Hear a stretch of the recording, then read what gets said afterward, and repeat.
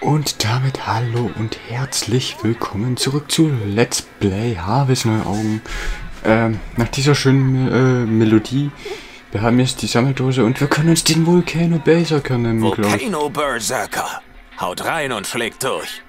Ich glaube, wir müssten uns den jetzt nehmen dürfen. Äh,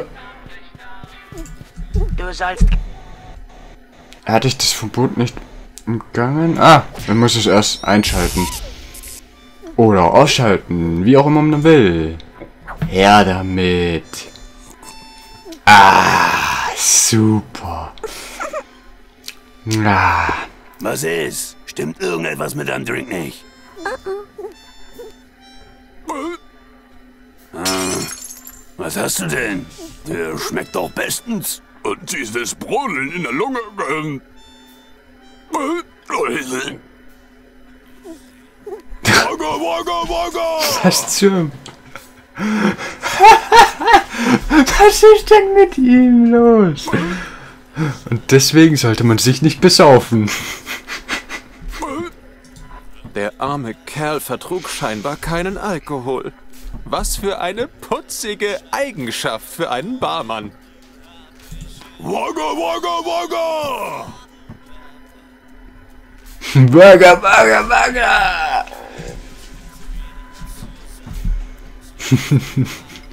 ich glaube, der kann uns tatsächlich die Sammeldose zertrümmern. Und her mit dem Geld. Das können wir jetzt doch vielleicht an dem Flunderautomaten hier nutzen. Warten wir die Sammeldose eigentlich noch gleich her? Keine Ahnung. Auf jeden Fall habe ich jetzt eine schöne Flunder. Flunder. Reden wir mal mit ihnen. Ich glaube, die könnte für den letzten Drink sein. Es sah nicht so aus, als würde sich der Barmann von alleine beruhigen. Lilly musste wohl etwas nachhelfen. Ach nee, ein Kugelfisch brauche ich dafür. Upsi. Auf zum Dorf. Jetzt können wir uns doch sicher selbst anzeigen, weil wir haben ja, wir haben ja... Ach nee, muss ich gar nicht. Ich muss ja einfach reinpusten, ne? Stimmt ja.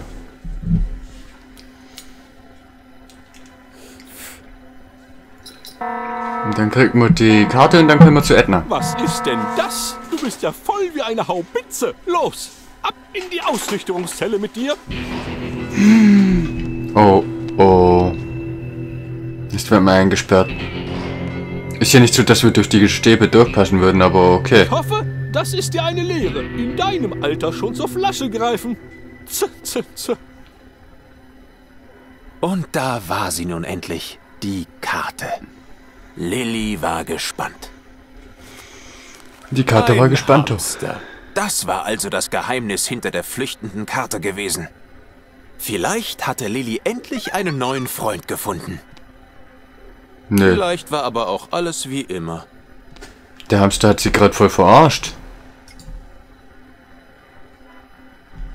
Und da war sie nun endlich, die Karte. Edna versteckte sich also in dieser Höhle am Moorsee. Aber Moment mal, das wusste Lilly doch schon. Genau genommen war diese Karte sogar ziemlich nutzlos. Besonders wenn Lilly bedachte, was sie alles angestellt hatte, um sie in die Finger zu bekommen. Edna, hides here. Oh mein Gott, die Edna ist da. Okay. Und äh, wie komme ich jetzt wieder raus? Was ist? Hast du schon genug von der gesiebten Luft? Das hättest du dir überlegen können, bevor du zur Flasche gegriffen hast. Ach herrje. Jetzt mach mal nicht so traurige Geräusche. Durch genau so ein Verhalten habe ich damals auch Edmund den Schlitzer auf freien Fuß gesetzt. Und du kannst dir nicht vorstellen, was mir das für einen Ärger eingehandelt hat. Es hat Wochen gedauert, bis die Eltern der kleinen Melanie wieder mit mir gesprochen haben. Ach, ich habe einfach ein zu gutes Herz. Ich lasse dich laufen. Aber du musst mir versprechen, nie wieder Unsinn anzustellen. Kannst du das? Ja, logisch. Du sollst nicht lügen. Du sollst.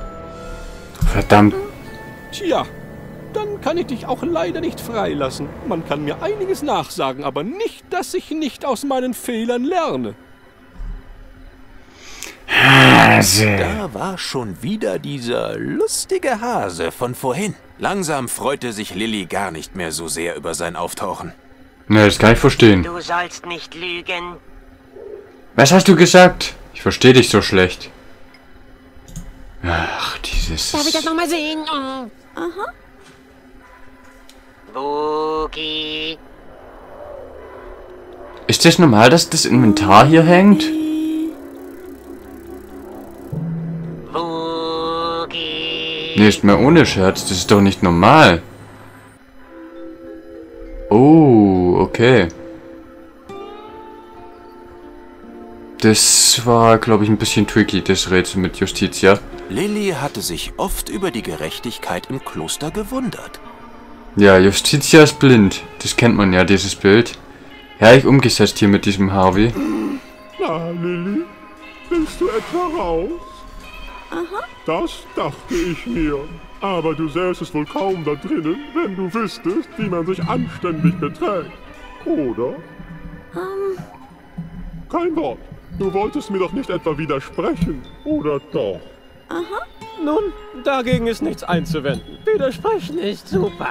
Manchmal widerspreche ich schon zum Frühstück. Drei Scheiben Toast. Oh, lecker Toast. Aber, aber das wäre gelogen. Und wir wissen doch beide, Du sollst nicht lügen. Lügen sind böse. Was? Natürlich sind Lügen böse. Warte, ich zeig's dir hier an der Tafel. Habt ihr das Wanted da hinten Schau gesehen? dir die Tafel gut an. Sie zeigt einige der Grundfesten unseres Rechtssystems. Zum Beispiel, dass Lügen böse sind. Wie? Nein. Natürlich sind Lügen böse. Es lässt sich leicht aus den vier obersten Grundfesten ableiten. Gott ist gut und wahrhaftig. Der Teufel jedoch ist böse, mit viel Weisheit. Gott ist die Wahrheit, denn auch er ist voll der Weisheit. Der Teufel aber lügt mit all seiner Bosheit. Und darum sind Lügen immer böse. Die logische Kette, die einen dahin führt, kannst selbst du knüpfen. Es sind nur drei kleine Schritte bis zum Ergebnis. Versuch es doch ruhig selbst. Hm, okay. Achso, ich muss es. Ich darf es nicht ziehen, ich muss es klicken. Was passiert denn, wenn ich hier Weisheit und Wahrheit nehmen? Ja, das ist logisch. Gute Weisheit, okay. Welches komme ich jetzt damit auf böse Weisheit? Gut ist böse. Ja, das ist logisch. Wenn gut böse ist. Und man mit der Bösheit lügt. Ja, Lügen sind böse. Gib dir beim nächsten Mal gefälligst etwas mehr Mühe. Ach so, das geht von... Ach. Warte mal, wenn... Der Teufel weiß ist und der weiß ist, Das ist logisch. Dann ist das Böse die Wahrheit. Wenn das Böse die Wahrheit ist, dann ist die Wahrhaftigkeit gut. Ja, das ist logisch. Hm, jetzt kann ich doch... Also, Ah. sind... Was? Lügen sind gut? Aber... Aber das kann doch nicht sein. Äh, äh, äh, Es scheint alles zu stimmen. Das ist doch... Ja, manchmal sind so kleine Notlügen gar nicht so verkehrt, ne? Was zum... Offenbar hatte sich Justitia geirrt. Wie es aussah, waren Lügen gar nicht so übel. Lilly hatte eine weitere Blockade gelöst.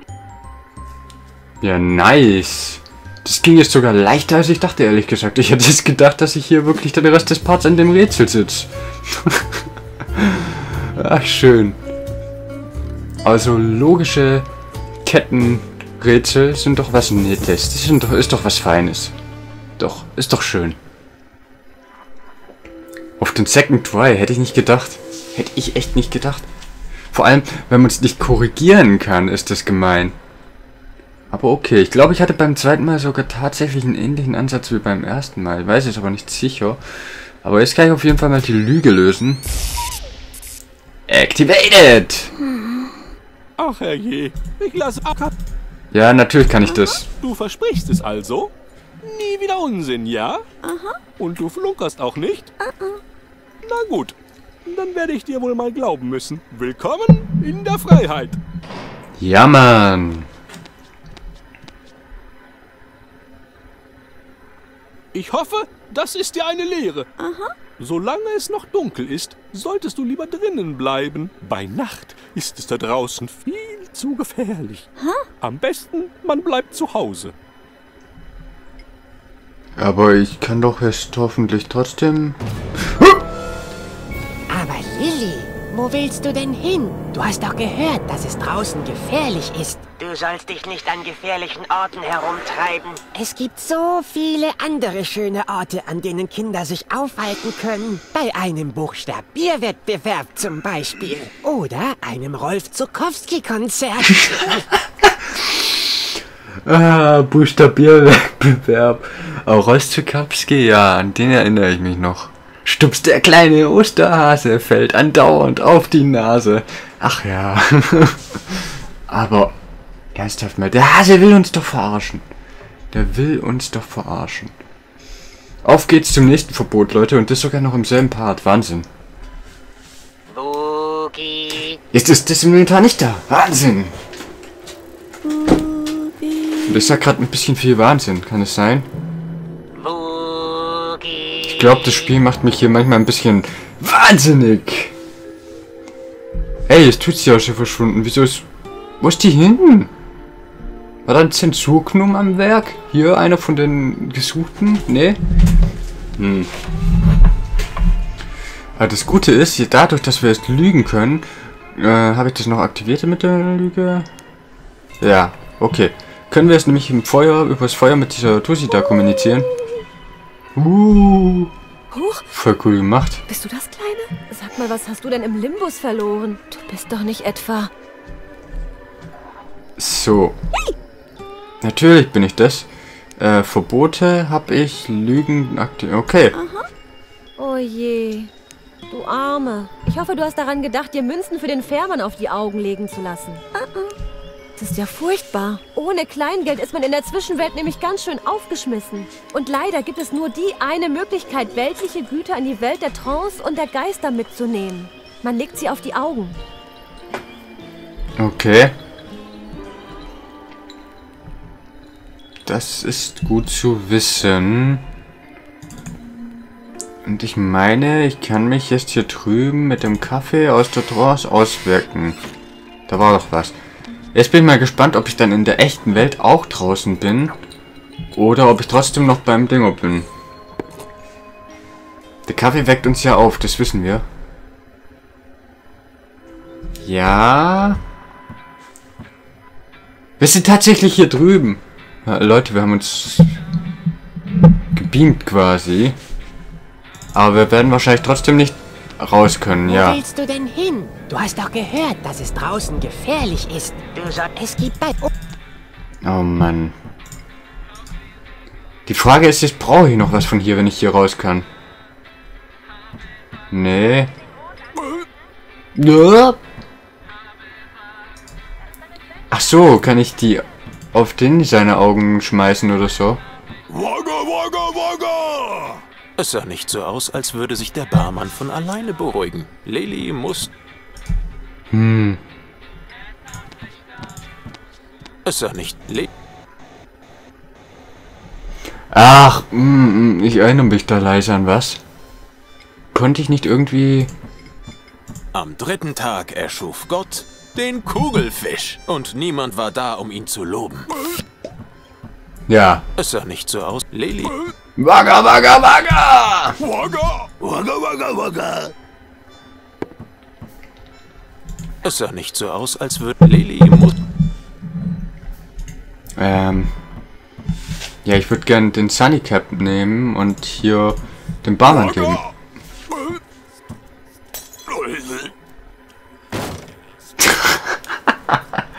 wie das aussieht.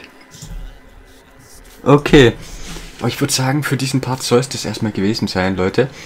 Ich bedanke mich äh, sehr fürs Zuschauen.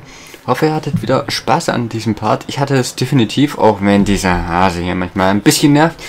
Und ja, dann würde ich mich natürlich sehr über einen Kommentar oder eine Bewertung freuen. Und natürlich werden wir uns auch das nächste Mal wiedersehen. Wenn es wieder heißt Let's Play Harvest Neue Augen. Bis dahin, macht's gut. Ciao, Leute.